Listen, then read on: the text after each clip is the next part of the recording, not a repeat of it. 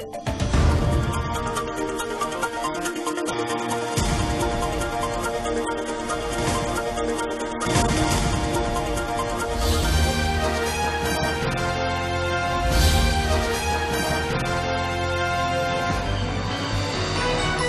देख रहे हैं दखल न्यूज़।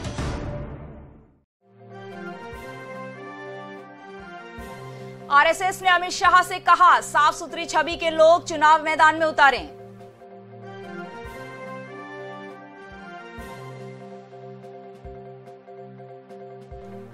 दिग्विजय सिंह ने प्रचार से बनाई दूरी, कहा, मेरे भाषण से कांग्रेस को होता है नुकसान।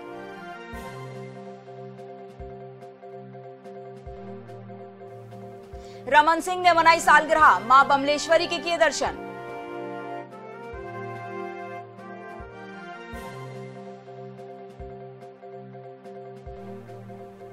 छत्तीसगढ़ भेजी जा रही अवैध शराब पकड़ी गई। छतरपुर पुलिस ने की कार्यवाही।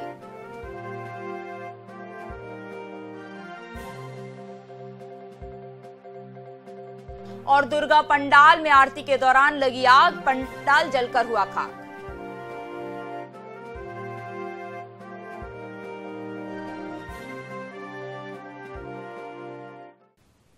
नमस्कार, मैं हूँ शेफाली। आप देख रहे हैं दखल न्यूज़। अब खबरें विस्तार से। भोपाल में भाजपा के राष्ट्रीय अध्यक्ष अमित शाह ने आरएसएस नेताओं से मुलाकात की और चुनाव को लेकर उनसे रायशुमारी की। आरएसएस ने अमित शाह को कहा कि चुनाव में साफ़ छवि के लोगों को ही प्रत्याशी बनाया जाए। बीजेपी अध्यक्ष अमित शाह ने भोपाल के अरेरा कॉलोनी स्थित संघ कार्यालय समिता जाकर क्षेत्र प्रचारक दीपक बिस्पुते सहित अन्य पदाधिकारियों से मुलाकात की। दोनों के बीच विधानसभा चुनाव के फीडबैक पर एक घंटे चर्चा हुई। इस दौरान संघ नेताओं ने अनुषांगिक संगठनों के फीडबैक को भाजपा के राष्ट्रीय अध्यक्ष शाह के साथ साझा किया। इसमें संघ के क्षेत्र प्रचारक दीपक बिस्पुते और अरुण जैन ने सरकार के मंत्रियों की छवि, विधायकों के खिलाफ नाराज़गी, आदिवासी इलाकों में जैश जैसे संगठनों का बढ़ता प्रभाव और सवर्णों की नाराज़गी का समाधान करने पर ज़ोर दिया। संघ कार्यालय संविधा में शाह के साथ प्रदेश प्रभारी डॉक्टर विनय सहस बुद्धे प्रदेश अध्यक्ष राकेश सिंह, संगठन महामंत्री रामलाल सुभाष भगत भी मौजूद थे। संघ कार्यालय में हुई इस बातचीत की गंभीरता का अंदाज़ा ऐसी बात से लगाया जा सकता है कि नीचे उतरते ही शाह ने डॉक्टर सहस बुद्धे को किनारे ले जाकर उनसे खड़े होकर लंबी बातचीत की। संघ और भाजपा नेताओं की इस मुलाकात में प्रदेश के ताज़ा राजनीतिक हालात का आकलन आसानी से किया जा सकता है। संघ नेताओं की ओर से साफ़ तौर पर कहा गया था कि साफ़ सुथरी छवि के लोगों को चुनाव में उतारेंगे तो संघ के स्वयंसेवकों को भी भाजपा का सहयोग करने में आसानी होगी। मौजूदा विधायकों की छवि के कारण उपजी लोगों की नाराज़गी से भी संघ ने शाह को अवगत करवाया। इसके अलावा संघ नेताओं ने विंध्य महाकौशल, चंबल महाभारत और मालवा क्षेत्र में अनुषांगिक संगठनों द्वारा जुटाए गए फीडबैक शाह को दिए। सत्यम शर्मा, दखल न्यूज़, भोपाल। कांग्रेस के सीनियर लीडर दिग्विजय सिंह खुद से इतने डरे हुए हैं कि उनको लगता है उनके भाषणों से कांग्रेस के वोट कट सकते हैं। इसीलिए उन्होंने इस चुनाव में प्रचार से दूरी बना ली है। इस समय सीनियर कांग्रेस लीडर दिग्विजय सिंह का आत्मविश्वास जगमगाया सा है। यही वजह है कि न वो पार्टी के लिए जमकर प्रचार कर रहे हैं ना भाषण दे रहे हैं। इन दिनों दिग्विजय सिंह का एक वीडियो वायरल हो रहा है जिसमें भोपाल में वो कार्यकर्ताओं से बातचीत करते हुए कह रहे हैं जिसको टिकट मिले चाहे दुश्मन को मिले जिताओ मगर मेरा काम केवल एक कोई प्रचार नहीं कोई भाषण नहीं। मेरे भाषण देने से तो कांग्रेस के वोट कट सकते हैं इसीलिए मैं जाता नहीं। ये बनने का क्या नहीं भैया? देखो ख्वाब देखते रह जाओगे अगर काम नहीं किया तो। नहीं बनेगी सरकार ऐसे अगर आप देखते रहोगे। आपने जो बोला। जिसको टिकट मिले चाहे दुश्मन को मिले जिताओ। और मेरा काम केवल एक कोई प्रचार नहीं कोई भाषण नहीं मेरे भाषण देने से तो कांग्रेस की वोट करते इसलिए जाता नहीं। अच्छा। दिग्विजय मध्य प्रदेश विधानसभा चुनाव में कांग्रेस की समन्वय समिति के अध्यक्ष हैं, लेकिन वे पर्दे के पीछे ही सक्रिय हैं। राज्य में अभी मुख्य रूप से कमलनाथ, ज्योतिरादित्य सिंधिया ही सक्रिय रूप से प्रचार करते नज़र आ रहे हैं और दिग्विजय पर्दे के पीछे से मोर्चा संभाले हैं।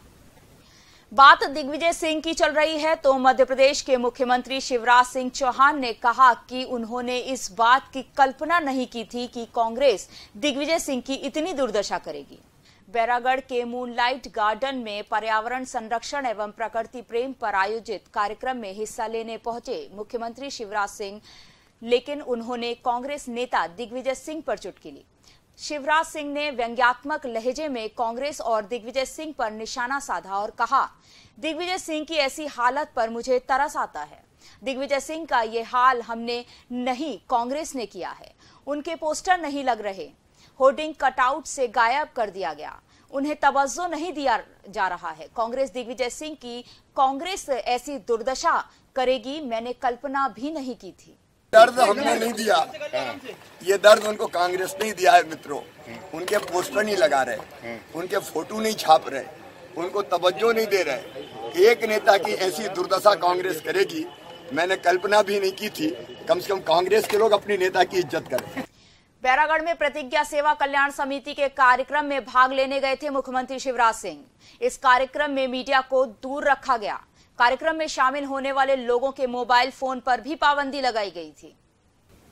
ग्वालियर में कांग्रेस अध्यक्ष राहुल गांधी ने मोदी सरकार को आड़े हाथों लिया और कहा कि केंद्र सरकार किसानों का कर्जा माफ़ करने और राहत देने में नाकाम रही है। राहुल ने ग्वालियर के अचलेश्वर मंदिर में पूजा पाठ किया और रोड शो किया।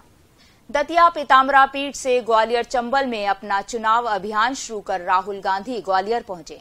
अचलेश्वर मंदिर में पूजा पाठ करने के बाद राहुल गांधी ने रोड शो किया और केंद्र सरकार पर निशाना साधा। उन्होंने कहा कि जब कांग्रेस की सरकार केंद्र में थी, तब हमने किसानों का कर्जा माफ़ किया।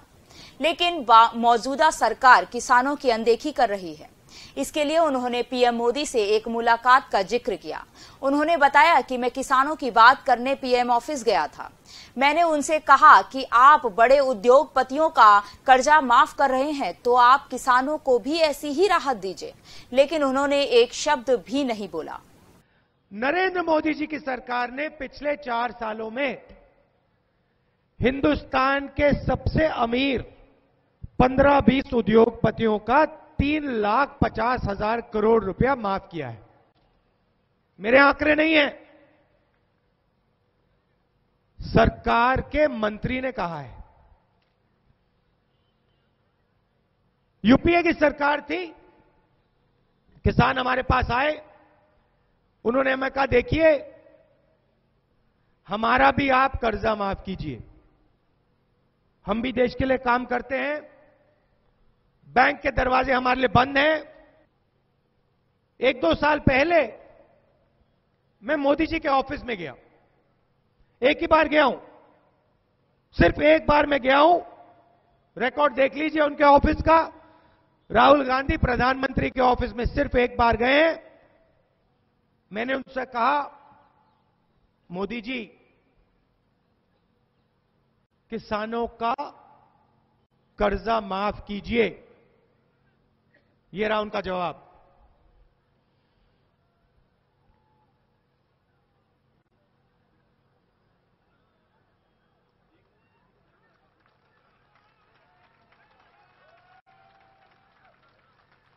मतलब मुँह से एक शब्द नहीं निकला।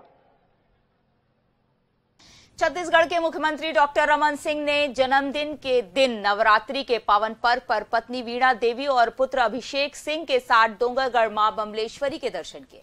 माँ बमलेश्वरी से छत्तीसगढ़ की खुशहाली और निकट भविष्य में होने वाले चुनाव में जीत के लिए आशीर्वाद मांगा। मुख्यमंत्री रमन सिंह ने राजनांदगांव पहुंचकर माँ बमलेश्वरी के दर्शन किए। उनके जन्मदिन का मौका था, इसीलिए सारा परिवार उनके साथ था। भारतीय जनता पार्टी के राष्ट्रीय अध्यक्ष अमित शाह ने जगदलपुर में कार्यकर्ताओं की बैठक में खुले तौर पर रमन सिंह को चौथी बार मुख्यमंत्री बनाने का ऐलान कर छत्तीसगढ़ में मुख्यमंत्री पद को लेकर उठी सभी आशंकाओं को खत्म कर दिया। भारतीय जनता पार्टी में रमन सिंह के कद का आज भी छत्तीसगढ़ में कोई नेता नहीं है। आज अपने जन्मदिन के अवसर पर डोंगरगढ़ स्थित माई बमलेश्वरी के दर्शन करने परिवार सहित पहुँचे। रमन सिंह खासे उत्साहित दिखाई दिए। दिन में माता का आशीर्वाद लिया। छत्तीसगढ़ के विकास, छत्तीसगढ़ की तरक्की, छत्तीसगढ़ की सुख, शांति और समृद्धि के लिए कामना किया। सभी कार्यकर्ताओं के साथ परिवार के साथ। और मुझे खुशी है कि माता के आशीर्वाद से छत्तीसगढ़ लगातार इन पंद्रह सालों में तेज़ी के साथ विकास की दिशा में आगे बढ़ा है। और आज फिर हम सबने माता के दरबार में आके यही कामना की है हमारा छत्तीसगढ़, हिंदुस्तान के सबसे विकसित राज्य की श्रेणी में पहुँचे। भोपाल के लिली टॉकी चौराहे के पास सजाई गई माँ कालका की झांकी में रात को आरती के समय आग लग गई। इससे झांकी प्रांगण में अफरा तफरी मच गई। आग लगने के कारणों का पता नहीं चल सका है। जहांगीराबाद इलाके में लिली के पास रात को देवी जी की आरती चल रही थी। कांग्रेस नेता गोविंद गोयल माता जी की आरती कर रहे थे। बड़ी संख्या में लोग आरती में शामिल थे। तभी आरती के दौरान पंडाल के ऊपर की तरफ़ अचानक आग की लपटे उठने लगी, जिससे लोग घबरा गए। लोग आरती बंद कर आग बुझाने में जुट गए। आग बुझाने के दौरान झांकी के चारों तरफ़ धुआँ फैल गया। सूचना मिलने पर पुलिस और नगर निगम का फायर अमला पहुँच गया और समय रहते आग पर काबू पा लिया। श्री गणेश माँ कालका उत्सव समिति द्वारा सजाई गई झांकी का आग लगने से पूरा पंडाल जल गया। चुनाव से पहले छतरपुर पुलिस ने अवैध शराब का जखीरा पकड़ा है। बताया जा रहा है, शराब को पंजाब से छत्तीसगढ़ लाया गया था। छतरपुर में थाना भगवा की पुलिस ने बॉर्डर चेकिंग के दौरान अवैध शराब का जखीरा पकड़ा। पुलिस को एक हज़ार पेटी अवैध शराब पकड़ने में सफलता मिली है। हमारे संवाददाता दीपेंद्र गुप्ता ने बताया कि अवैध शराब ट्रक में लाद कर पंजाब से बिलासपुर ले जाने की सूचना पर भगवा टीआई ने दलबल के साथ कार्रवाई कर ट्रक को दबोच लिया। बताया जा रहा है, ये शराब छत्तीसगढ़ के चुनाव को प्रभावित करने के लिए भेजी जा रही थी। मुखबिर की सूचना पर टीआई सत्यनारायण भगत और पुलिस स्टाफ ने तबतरित कार्यवाही कर ट्रक पर को दबोच लिया और दो आरोपियों को भी गिरफ़्तार किया। छत्तीसगढ़ के राजनांदगांव में नक्सलियों के आईईडी ब्लास्ट के तीन जवान घायल हो गए। यह हादसा उस वक्त हुआ जब सुरक्षा बल सर्चिंग पर निकले हुए थे। राजनांदगांव में रामगढ़ की पहाड़ियों के पास आज आईटीबीपी व पुलिस की संयुक्त पार्टी सर्चिंग गश्त पर थी। उसी दौरान नक्सलियों द्वारा आईडी ब्लास्ट कर गश्ती दल को नुकसान पहुँचाने की कोशिश की गई, जिसमें आईटीबीपी की चवालीसवीं वाहिनी के तीन जवान बुरी तरह घायल हो गए। घायल जवानों के नाम हेड कांस्टेबल गोयल प्रकाश, आरक्षक सचिन कुमार और आरक्षक तड़वी तीर सिंह बताए गए हैं। चुनाव को अपन ध्यान में रखते हुए लगातार जो है, पुलिस फोर्स के द्वारा जो है अंदरूनी क्षेत्रों में लगातार सर्चिंग चल रहा है और डॉमिनेशन कार्रवाई चल रही है मुस्लिम की कार्रवाई चल रही है। इसी तारतम्य में आज भी जो है पाना बरस है कोहका है पोस्टोला है, बहुत सारे जगहों से जो है पोस्ट निकला हुआ था सुबह चार बजे। अभी लगभग जो है, आधा घंटा पहले ही जो है, पाना बरस से जो पार्टी निकली हुई है, अब रामगढ़ और कनेली के बीच में एक प्रेशर माइंस विस्फोट हुआ है, जिसमें अपनी आई टी बी की चौवालीस बटालियन तीन जवान घायल ब्लास्ट के तत्काल बाद घायलों को सुरक्षित निकाला गया और उपचार करवाया गया। तीनों जवानों की हालत खतरे से बाहर बताई जा रही है। पूरी खबर पर बात करने के लिए हमारे विशेष संवाददाता संजीव पचौरी फ़ोन लाइन पर जुड़ चुके हैं। संजीव, क्या है पूरी खबर? आज आज की घटना है सुबह की, ये राजनाथ राजनाथ गाँव ज़िले का मोहला ग्राम थाना है। जी। यहाँ पर पुलिस कर्फ्यू को निकली हुई थी चुनाव का माहौल है जी। और पुलिस ओपनिंग करती है हर रोड को। उसी दरमियान ये ब्लास्ट हुआ है जिसमें तीन जवान घायल हुए हैं। जी। हालाँकि घायलों की हालत जो है गंभीर नहीं है। बावजूद इसके चुनाव के समय में ये आईडी ब्लास्ट की जो घटना घटी है कहीं न कहीं चुनाव की तैयारियों को लेकर जो प्रशासनिक तैयारियाँ उसमें कहीं न कहीं ढील की स्थिति दर्शा रही है। हालाँकि पुलिस सतर्क है प्रशासन सतर्क है और कोशिश करेगी कि चुनाव के समय कोई और दिक्कतें ना आए। जी बिल्कुल संजीव। शुक्रिया संजीव। व्यापम घोटाले में आरोपी रही डॉक्टर मनीषा शर्मा ने लखनऊ में की आत्महत्या। 2015 में जाँच एजेंसी ने मनीषा को गिरफ़्तार किया था। मनीषा शर्मा 2009 में पीएमटी एग्ज़ाम में नकल के लिए सॉल्वर बनी थी। वहीं लखनऊ पुलिस का दावा सीनियर की प्रताड़ना के चलते मनीषा ने आत्महत्या की है। होशंगाबाद से एक दुखद खबर। अधिमान्य पत्रकार प्रमोद मिश्रा का शव कमरे में मिला। यह शव तीन से चार दिन पुराना बताया जा रहा है। प्रमोद मिश्रा साप्ताहिक सत रस्ते के बेताल नामक साप्ताहिक अखबार के संपादक थे। प्रमोद का शव मिलने के बाद उनके कमरे को सील कर दिया गया है। हमारे संवाददाता आशुतोष सराठे ने बताया कि एसडीओपी मोहन सारवान के साथ एफएसएल टीम फिंगरप्रिंट एक्सपर्ट ने मामले की जाँच शुरू कर दी है। पुलिस को जहाँ पत्रकार प्रमोद मिश्रा का शव मिला, उस कमरे के बाहर गेट पर ताला लगा था। इसीलिए पुलिस हर एंगल से मामले की तफ्तीश कर रही है। इस बुलेटिन में फ़िलहाल इतना ही। आप देखते रहिए दखल न्यूज़, दखल आपके हक में।